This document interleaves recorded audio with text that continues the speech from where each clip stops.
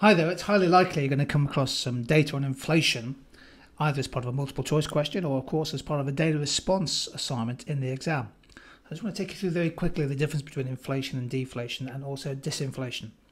They may well target this as a question. This data shows the annual rate of inflation in the UK right up to the latest figures, which is April 2016, when inflation was 0.3%. Now you can see here that the rate of inflation varies uh, from month to month. This is the annual 12 month change in consumer prices.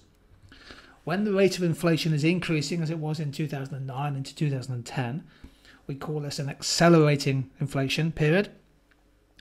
And that means that the consumer price index is, is, consumer price index is rising at an increasing rate. Jack a little bit further ahead into 2012, 2013, the rate of inflation was falling call that disinflation, but the rate of inflation is still positive, still greater than zero.